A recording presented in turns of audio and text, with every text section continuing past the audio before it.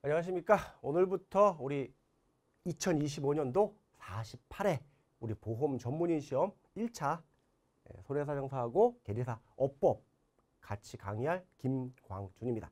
첫 시간이라서 전반적인 오리엔테이션, 즉 학원 수업 과정이랄지 그다음에 여러분들이 어떻게 좀 준비를 해야 될지 이런 걸 한번 약 20분에서 30분 정도 한번 이야기를 하고 나서 본격적으로 수업에 들어가도록 하겠습니다. 뭐 이름은 나와 있죠? 네, 이름은 뭐 손해사정사 준비하시는 분들한테는 음, 잘알 거 아실 거예요. 하지만 이제 계리사 준비하시는 분들은 저하고 이제 강의하는 게 처음이니까 거의 처음이자 마지막일 겁니다. 근데 이제 손해사정사 준비하시는 분들은 뭐 재물 같은 경우는 모르지만 신체나 차량 같은 경우에는 2차 과목도 제가 강의를 하기 때문에 뭐 그때 한번 좀 더 얘기를 하도록 하겠습니다. 그래도 좀, 음, 좀 간단하게 설명을 좀 제 소개 정도는 좀 드려야 되겠죠. 전 DB손해보험에서 근무를 했었고요. 어, 자동차하고 화재 특종, 그러니까 일반 보상이라고 얘기를 하죠. 자동차 보상하고 일반 보상 쪽에서 근무를 했었고요. 지금은 이제 음, 독립손해사정 법인에서 근무를 하다 보니까 음, 뭐 장기보험도 하고 다 두루두루 다 하고 있습니다. 딱 한 가지만 안 하고 있어요. 해상보험. 네. 종합손해 손해사정하기 때문에 다 할 수는 있지만 이제 해상보험 쪽은 경험치가 없거든요. 그래서 그쪽은 이제 하질 않고 있습니다. 뭐 대학에서 지금 겸임 교수로 있는데 업법, 계약법, 손해사정 이론, 즉 우리 손해사정사 1차 과목이 개설이 되어 있는 학교다 보니까 그 과목들을 이제 강의를 하고 있습니다. 그 다음에 혹시라도 여러분들이 공부하시면서 좀 중요한 거 어, 네이버 카페에 손해사정사 시험 A부터 Z라고 해서 운영을 하고 있거든요. 여기에 보면은 음, 우리 이제 업법 관련된 자료들 뭐 주로 2차 자료들이 많고 1차 관련돼서는 보험 업법 관련된 우리 학원에 있는 부록 있죠? 네, 우리 교재 부록 요것도 올라가 있고요. 또 기간별로 정리한 내용들 지금 추가적으로 하는 거는 금융위원회 뭐 인간지, 허간지, 보건지, 신고인지 여러 가지 있죠. 이런 것들 한번 정리해서 자료를 올려놓을 테니까 한번 가입하셔가지고 뭐 자유롭게 가입하시면 되고요. 음, 자료 같은 거 좀 다운받으시면 도움이 되지 않을까 생각이 됩니다. 음, 그러면 이제 먼저 손해사정사 최근 9년간 기출문제를 한번 봐볼게요. 어떻게 보냐? 각 장별로 보는 겁니다. 각 장별로. 우리 업법은 1장 총칙부터 13장 벌칙까지로 이루어져 있습니다. 이거는 뭐 다 똑같아요. 계리사분들이나 사정사분들이나 동일합니다. 근데 제가 여기서 보시면은 빨간색으로 표시해 놓은 부분들이 있죠. 2장, 3장, 4장, 7장. 그 다음에 파란색으로 나와 있는 11장. 이렇게. 이 부분이 거의 50%, 한 60% 가까이, 거의 한 70%? 심하면 한 70%좀 넘게 나오고 있습니다. 음. 그래서 이제 평균적으로 9년 동안 나왔던 문제를 보니까 40문제잖아요. 손해상사가 5문항 정도가 제 2장에서 나왔습니다. 모집은 약 10문제 정도, 10문제 정도. 상당히 많은 포지션으로 나오고 있다는 거. 그러면 왜 11장은 파란색으로 표시를 해놨을까? 이거 한번 생각해 볼까요? 어, 다 빨간색인데 뭐 박스도 빨간색이야. 근데 왜 이건 파란색일까? 예, 이유가 있습니다. 올해 올해 요 11장 파티의 개정사항이 상당히 많습니다. 우리 시험 자체는 개정사항이 있는 부분이 주로 출제가 많이 됩니다. 근데 우리 계리사분들은 계리사 준비하시는 분들은 다행이라고 생각하셔야 돼요. 그 개정 부분이 다 손해사정사와 관련된 부분이거든요. 전통적으로 계리사 보험업법에는요. 손해사정사 관련된 부분이 배제가 됩니다. 협회, 보험관계단체하고 계리사까지만 나와요. 그러니까 계리사분들은 요 11장의 개정사항을 안 보셔도 무방합니다. 그건 차차 수업 중에 다시 한번 말씀을 드릴게요. 어차피 1차 시험이란 건 합격, 기준 점수를 통과하면 되는 거기 때문에 여러분들이 아주 효율적인 학습을 하는 게 맞습니다. 그 남는 시간에 2차 공부들을 하시는 게 더 효과적이니까 불필요한 부분은 배제를 시키십시오. 뭐 예를 들어서 4, 5년에 한 문제 나오는 부분이 있다. 예를 들어 볼게요. 그래도 뭐 계산 파트는 꾸준하게 나오지만 위에 보칙이나 벌칙은 어때요? 몇 년에 한 번씩 나온다고요. 연달아 나올 때도 있지만 안 나올 때도 있고 뭐 이런 파트가 외울 게 상당히 많아요. 외우려고 하면은. 그 대신에 어떻게 해요? 나왔던 부분 아니면 그나마 나올 법한 부분만 몇 가지만 외우고 넘어가시라는 얘기죠. 아예 안 보는 거는 좀 그렇고 대신 중요한 몇 가지 기출 문제를 통해서 아 이런 걸 물어봤구나 뭐 이런 정도만 기억하고 넘어가시면 된다는 얘기입니다. 그래서 손해사정사 기출 문제 9, 9년간을 한번 살펴봤고요. 다음은 계리사분들 거 볼게요. 보험 계리사 마찬가지죠. 예. 2, 3, 4, 11장이 많이 나오고 있습니다. 보시면 11장도 1.8문항, 약 두 문항인데 이게 주로 관계단체하고요. 선임 아니, 계리사 관련된 부분에서만 나오고 있습니다. 그래서 여기선 손해사정사 관련된 부분이 나오지 않고요. 교재 목차에도 그래서 기재를 해놓은 이유가 그겁니다. 마찬가지로 2장, 3장, 4장, 7장, 11장 이렇게 좀 중요도가 있으니까 같이 봐두시면 돼요. 계리사분들은 15문제입니다. 15문제가 나오거든요. 네, 그렇기 때문에 이 15문제라고 해서 별도의 15문제가 아니라 손해사정사 문제 40문제, 40문제 중에서 15문제를 골라서 내는 겁니다. 그러니까 15문제는 중복된다는 얘기죠. 그래서 참고해서 한번 봐두시면 좋을 것 같습니다. 또 수업 각 장별로 들어갔을 때 제가 또 설명을 드리도록 할게요. 여기 나와있죠? 네, 47회 11장에서 손해상사 문제는 미출제입니다. 47회 때 이렇게 세 문제가 나왔지만 세 문제가 나왔지만 빠져 있어요. 요율 산 출 기간 계리사 부분만 출제가 되고 있다는 거 꼭 기억해 두십시오. 어디에? 계리사분 문제, 계리사분들 문제에 나오는 겁니다. 손해사정은 당연히 나옵니다. 네, 손해사정사는 상당히 많은 포지션으로 나오고 있어요. 그럼 이제 목차별로 한번 쭉 정리를 해봤습니다. 여러분들 교재에 갖고 있는 목차를 한번 타이틀을 갖고 온 겁니다. 이렇게 되어 있죠. 네, 다 빨간색이에요. 2, 3, 4장. 그 다음에 7장, 11장이 중요합니다. 그래서 사정사하고 계리사하고 중요도를 좀 다르게 표시를 해놨죠. 음. 그래서 보시면은 11장 같은 경우 손해사정사 같은 경우는 별 4개를 해놨죠. 하지만 계리사는 별 3개로 줄었습니다. 이유는 뭐다? 손해사정사 관련 문항이 미출제되기 때문에. 그래서 여러분들이 적어도 지금 제가 별표해놓은 데는 집중적으로 공부를 해야 되는 부분이고요. 계리사분들 같은 경우는 아예 요 10장 손해보험 계약의 제3자 보호제도는 안 보셔도 돼요. 나온 적이 없어요. 아 그럼 선생님 이거 혹시 올해 나오면은요? 틀리세요. 그냥 찍으세요. 네, 양이 많진 않은데 뭐 한번 읽어보는 정도는 괜찮아요. 읽어보는 정도는 그러니까 수업 같이 들으면서 읽어보고 문제 푸는 정도. 하지만 여러분들이 혼자 복습할 때는 추가적으로 하지는 않았으면 하는 뭐 거기에 막 보험 종목 나오는데 막 외우고 할 필요 없다는 얘기입니다. 그래서 사 정사하고 계리사하고 중요도가 다소 다소 약간의 차이는 있으면 이렇게 갭을 좀 보입니다. 네, 갭을 보여요. 그래서 이걸 참고하셔가지고 봐두시면 공부의 방향이나 효율성을 좀 극대화되지 않을까 생각이 됩니다.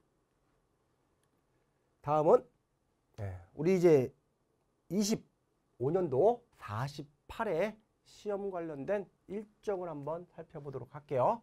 앞에서 얘기했다시피 손해사정사는 어법이 40문항이 나옵니다.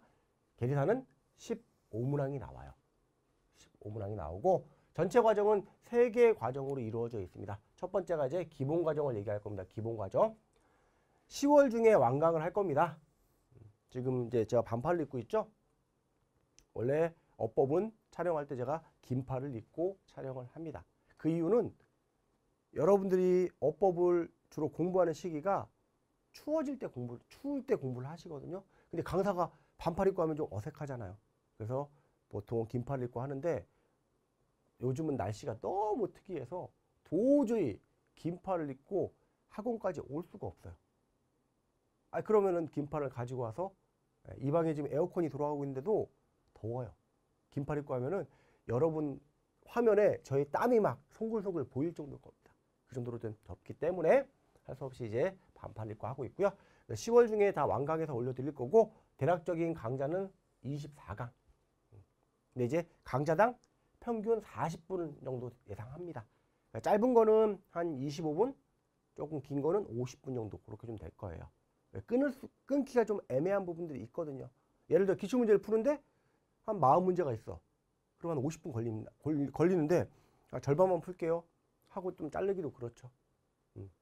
그래서 그렇게 해서 진행을 할 거고요. 1장부터 13장까지 이론 교육하고 기출됐던 문제들을 같이 풀어볼 겁니다. 출제 빈도가 높은 장들 있죠? 여기서는 이제 별표 좀 낮춰봤을 때 이 부분은 시행령이나 시행 규칙까지 좀 꼼꼼하게 살펴볼 거고요. 중요도가 빈도가 낮은 장들은 법, 어법 위주로 공부를 할 겁니다. 실질적으로 보험 어법이라고 돼 있지만 우리의 시험 범위는 정확하게 하면은 어법, 시행령, 그 다음에 시행규칙, 그 다음에 감독 규정까지 나요. 그렇지만 이 감독 규정은 아주 예외적으로 한 번씩 나오다 보니까 여러분들이 이 감독 규정까지는 안 보시는 것을 추천드립니다. 너무 범위가 넓어져요. 너무너무 넓어지기 때문에 하지만 주로 어법 위주로 나오다가 최근에는 어법의 조문들이 최근이 아니죠. 몇 년간 다른 법률로 이관이 됐거든요. 그러다 보니까 시행령이나 시행규칙까지 좀 깊이 있게 물어보는 문제들이 나오고 있습니다. 그래서 주로 출제 빈도가 높은 파트는 시행령과 시행규칙까지 한번 살펴보겠다는 겁니다. 그러니까 지금 교재에 수록되어 있는 것 이상 더 들어가실 필요는 없습니다. 어느 예상되는 범위까지는 해놨기 때문에 완벽하게 100점을 먹기 위한 시험 준비는 못 시켜드립니다. 아니 안 시켜드려요.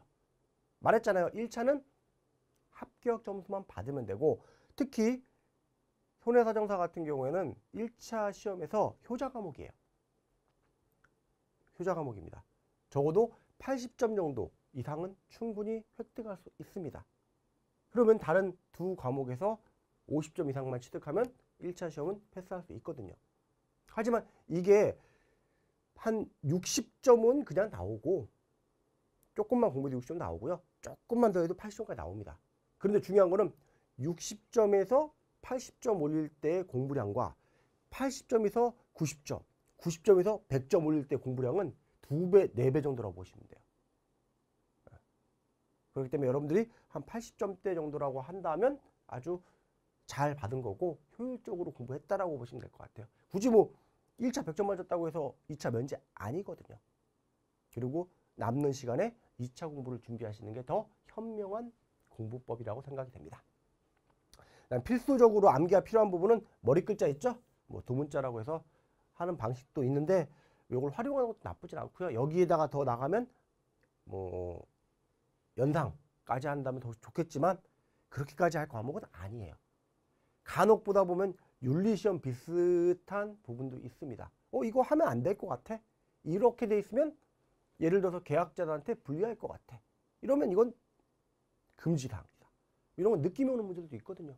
한번 쭉 읽어보고 찾으면 되고 또 말장난이라고 보통 표현하는 쭉 가다가 마지막에 있다 없다. 또 해야 한다 할 수 있다. 요거 차이 있죠? 해야 한다는 것은 강제고요. 할 수 있다는 건 선택이죠. 요 단어를 바꿔서도 문제가 많이 나오고 있습니다. 그러니까 여러분들이 암기가 중요한 게 아니라 이해가 필요한 부분들도 있다는 얘기죠. 11장 관련돼서는 최근에 개정사항이 있으니까 요건 반드시 짚고 넘어가야 됩니다. 그리고 실제 교재는 2024년도 10월 개정까지 반영을 했고 단 시행령은 안으로만 개정안을 바탕으로 넣기 때문에 혹시라도 어, 개정안 시행령 개정안이 바뀌면은 그거는 이제 정오표를 통해서 여러분한테 다시 그 알려드리도록 하겠습니다. 이게 이제 기본 과정입니다. 기본 과정은 이렇게 될 거고 두 번째 핵심 문제풀이 과정은요. 보통 1월에 1월에 완강을 합니다. 1월에 완강하는 이유가 뭐다? 간혹 어떤 시행령이랄지 이제 법률 개정 사항이 조금 늦게 되는 경우들이 있습니다. 왜 우리가 시험이 4월이기 때문에 뭐 1월에 시행됐다면 반영을 해줘야 돼요. 뭐 3월까지는 잘 보통 없는데 월초, 연초에 1월에 개정되는 부분들이 꽤 있습니다. 그럼 그런 부분을 반영해서 최종 시험 준비를 해야 되겠죠. 그래서 1월에 보통 완강들을 합니다. 다른 이제 계약법이나 손해사정 이론 이런 어떤 1차 과목들은 뭐 요거보다 빠르게 1월 이전에 완강들을 하시는 경우도 있는데 어법은 할 수가 없어요. 그건 이해해 주셔야 됩니다. 왜? 과거에 이런 경우도 있어요. 어, 1차 시험을 보신 분이 어? 이게 왜 틀렸어요? 대차 대조표고 왜 틀렸어요? 딱 그러는 거예요. 대차 대조표. 어, 계리사분들 또는 회계 공부하시면 아시죠? 지금은 대차 대조표라는 말을 쓰지 않습니다. 재무 상태표라고 쓰죠. 그래서 제가 과거에 보험법 공부할 때도 아 이거 명칭 바뀌어야 되는데 바뀌어야 되는데 몇 번을 얘기했거든요. 근데 결국은 법 개정돼서 대차 대조표를 다 재무 상태표로 바꿨습니다. 근데 그분이 공부하신 분이 봤던 책은 대차 대조표였나 봐요. 안 바꾼 거예요. 그러니까 개정되지 않은 책을 보다 보니까 시험 문제에서 한 문제를 틀린 겁니다. 자기는 대차 대조표로 외웠는데 재무상태표야. 틀렸다. 땡. 어 이거 틀린 거네. 라고 체크했더니 그게 오답인 거죠. 이런 일이 발생될 수 있기 때문에 이런 일이 발생될 수 있기 때문에 핵심 문제풀이는 조금 더 늦게 진행하는 거 이해해 주시고요. 대략적으로 보통 12시간 정도에서 180문제를 만들어서 풀어보고 있습니다. 수준은 좀 높아요. 실제 기출문제보다 조금 더 높 은 수준으로 내고 있습니다. 평균적으로 한 45분 정도씩 나오더라고요. 두 번 나왔죠? 기본 과정 이후에 법령 개정 사항을 충분하게 반영을 해서 문제풀이를 진행하고 있고요. 각 문, 문항에 조문들을 추가해서 여러분들이 시간 내서 이런 부록에 있는 조문들을 찾아보기보다는 바로 문제 풀고 해당되는 조문 한 번 더 보고 네, 문제 풀고 조문 보고 문제 풀고 조문 보고 그럼 외워지거든요. 내가 이거를 외워야 되겠다 막 깜지 쓰는 게 아니라 문제를 풀면서 아 이게 어떤 조문이네 음, 주로 숫자 있다 없다 이런 여러 가지 있죠. 그런 함정들을 보면서 해당 조문들을 보면 훨씬 더 기억력이 좋습니다. 그런 방식으로 공부를 하는 걸 권장을 합니다. 저도 참고적으로 제가 여러분들 뭐 지금 처음 시험을 보는 분들 기준으로 말씀을 드리면 정확하게 제가 20년 전에 20년 전에 여러분처럼 1차를 응시했습니다. 20년 전에. 그런 얘기 해주신 분이 없었어요. 뭘 어떻게 어떻게 해라. 음. 그래서 좀 과하게 투자했죠. 정말 과하게 투자했습니다. 네, 정확하게 1차 시험을 92.5, 어법은 92.5를 맞았거든요. 근데 뭐예요? 그냥 1차 합격인데. 음. 그의 2차 똑 떨어졌죠. 그래서 말씀을 드리는 겁니다. 1차는 뭐 불안불안하니까 조금 한 60, 한 2, 2 3점 요 정도 라인에서 합격하시면 돼요. 그러니까 총점으로 한 190점 정도. 190점이면 안전빵이고 180점 초반대면 좀 불안불안하잖아요. 그래서 한 가채점 했을 때 190 정도만 넘기면 크게 문제는 없다. 그래서 그런 부분을 갖고 핵심 문제풀이를 진행을 할 겁니다. 다음 마지막 과정이 실전 모의고사입니다. 실전 모의고사. 뭐 실전 모의고사라고 해서 여러분들이 학원에 와서 오프라인으로 시험 보는 건 아니고요. 온라인으로 네, 온라인으로 2회차분 모의고사에 응시를 할 수 있습니다. 그래서 두 번을 시, 시험을 보는데 난이도를 조금 조절을 해요. 첫 번째 1회 때는 시행령이나 시행규칙까지 좀 포함해서 난이도를 좀 높여요. 1회차에는. 근데 2회차는 그거와는 조금 상반되게 법 위주로, 어법 위주로 해서 난이도를 좀 낮춥니다. 실제 시험은 요 2회차 정도 수준으로 나오는 것 같아요. 최근에 보면은. 예. 근데 이제 조금 높은 난이도를 풀어봄으로써 내가 좀 미진했던 파트나 미진한 부분을 찾으라는 겁니다. 모의고사라는 거는 내가 공부한 거에 대해서 피드백을 하는 거예요.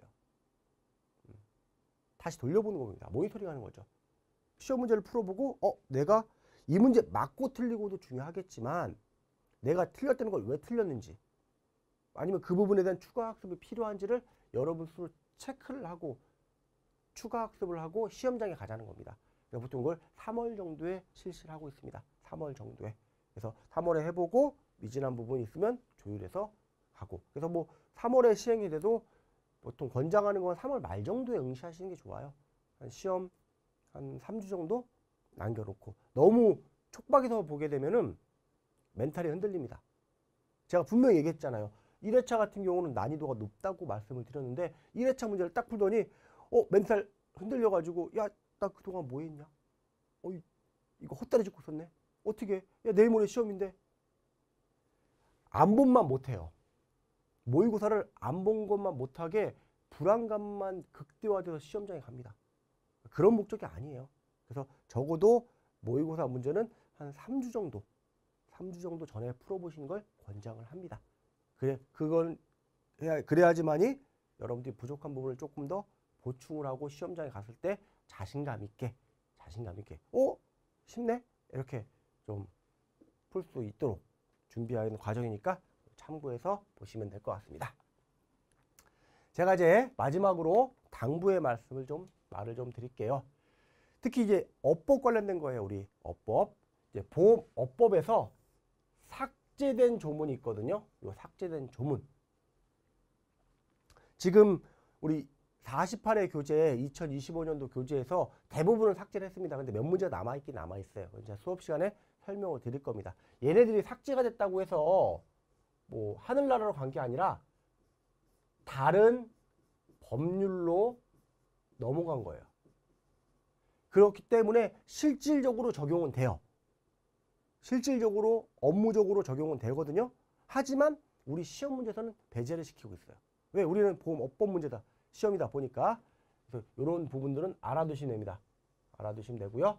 나오지 않고 있다 보니까 그만큼 어때요? 시행령이나 시행규칙, 그러니까 난이도가 높은 문제에서는 시행령이나 시행규칙 내용까지 묻는 경우도 있습니다. 과거에 안 물었던 걸 거기까지 물어보는 경우도 있으니까 그런 걸 좀 주의를 해주시고 좀 그런 문항들이 좀 증가하는 추세에 있다. 증가하는 추세에 있다. 또 진짜로 이거는 틀려. 맞으면 안 돼. 저도 이제 회사에 근무할 때 사내 어떤 자격 시험을 한번 한 해 1년 출제를 해봤거든요. 한번 출제해봤는데 음, 최악이야. 최악. 0%. 뭐가 0%일까요? 맞아요. 정답률 0%. 이거 맞아 죽어요. 문매 맞아요. 네, 문매 맞습니다. 음. 근데 간혹 이 감독 규정 문제들이 튀어나올 때가 있어요. 근데 이제 감독 규정 문제가 나왔을 때 감독 규정 내용이 전체가 아니에요. 이제 보기 중에 하나 정도가 감독 규정 내용이 들어올 수도 있습니다. 그러니까 감독 규정을 몰라도 나머지 선지 보기들을 잘 안다면 내가 모르는 문장 빼? 어, 틀린 거 찾아. 예를 들어 3번이 감독 규정이야. 내가 모르는 내용이야. 1번, 2번, 4번 중에 틀린 게 있는 점인지 봐. 어? 틀린 거 없네? 그럼 3번이 틀렸겠지. 이렇게 찍을 수도 있다는 얘기입니다. 그래서 뭐 이 감독 규정 전, 체 문항 자체가 감독 규정 관련된 내용으로 물어보는 경우는 극히 드물어요. 보기 중에 하나 정도만 들어오니까 여러분들이 다른 법이나 시행령, 시행규칙을 안다면 충분히 정답은 찾을 수가 있습니다. 너무 그렇게 무서워하실 필요 없다는 얘기고요. 좀 꼼꼼하게 학습할 필요가 있다. 과거에 비해서는. 근데 여러분들 지금 업법이 양이 많은 것 같죠? 아니에요. 제가 20년 전에 제가 공부할 땐 더 심했습니다. 시험 문제도 진짜 지저분했어요. 우리 나중에 배울 자산운용 파트 있죠? 자산운용 파트에 어떤 자산운용 비율, 뭐 지금도 간혹 나와요. 어떤 애, 어떤 한 문제씩 나오는데 그거는 기본이고 소수 주주권이나 소수 사원권 뭐 이런 것도 문제 나왔거든요. 제가 나중에 얘기하겠지만 소수 사원권을 아예 배제를 시킬 겁니다. 최근에 안 나와요. 이런 과거에 나왔, 나왔던 부분들을 보면은 진짜 안 헤어져요. 예. 그런 문제들도 꽤 많이 나왔습니다. 그리고 조문도 훨씬 많았고 과거가 지금은 많이 간추려진 겁니다. 뭐 신설된 조문들도 있지만 추가된 것보다 빠진 게 더 많을 거예요. 그래서 해주시면 될 것 같고 1차 시험은 손해사정사나 보험계리사나 다 패스 여부입니다. 합격 그냥 통과 여부니까 너무 뭐랄까 뭐 고득점 안정적인 점수를 받기 위한 거에 노력해 주시고 아주 고득점을 받기 위해서 공부하지 마십시오. 그 대신에 그 시간에 2차를 조금 조금씩 준비하시는 게 더 현명합니다.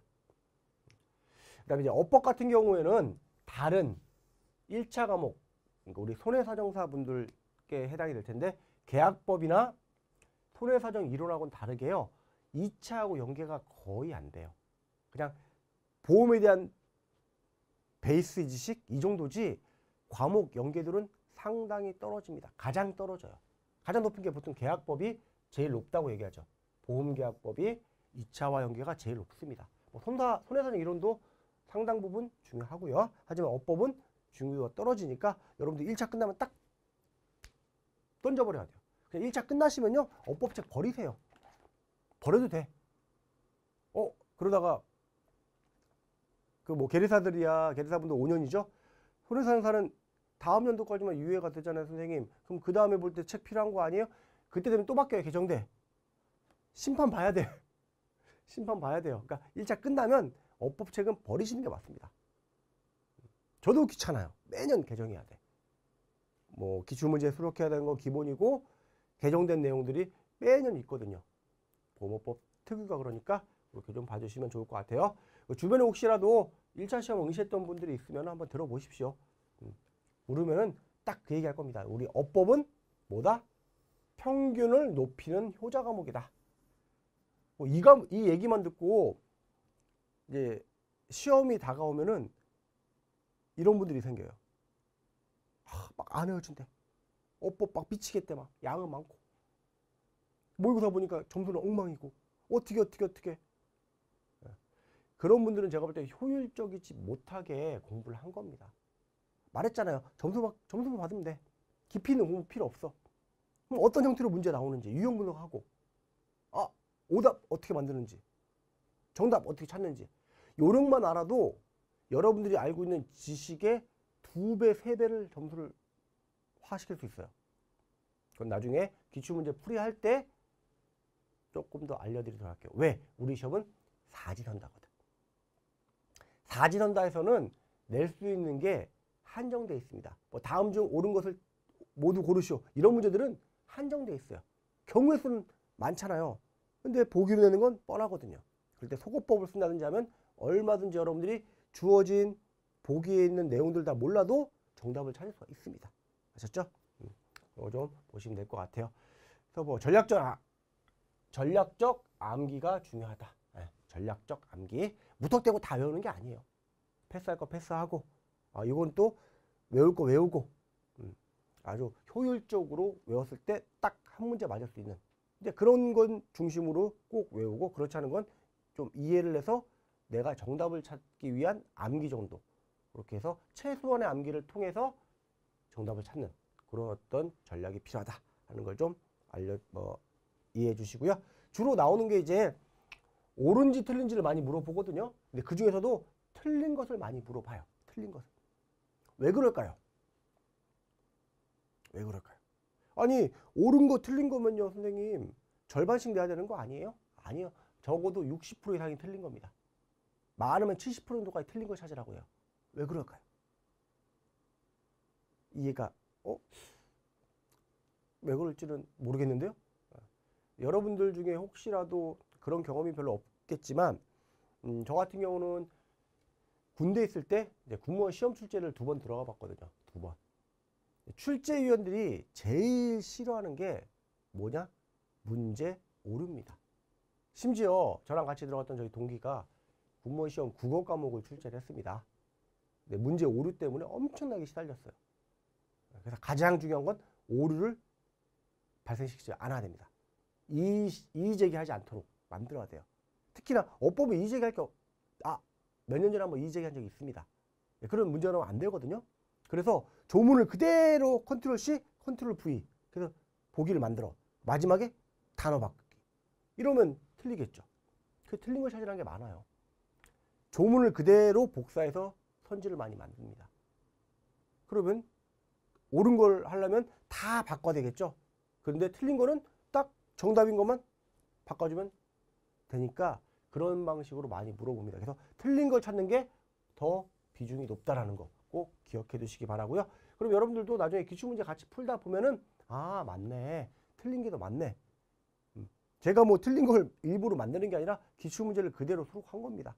우리 교재에 수록되어 있는 문제들이 다 기출문제들을 수록한 거기 때문에 뭐 차이는 좀 있겠죠. 언제 나왔는지 다소 차이는 있겠지만 뭐 최근 나온 문제도 있고 좀 된 문제도 있겠지만 전반적으로 옳지 않은 거, 틀린 거 이런 거 찾는 게 훨씬 더 많다라는 거 이걸 좀 기억을 해두시면 좋을 것 같습니다.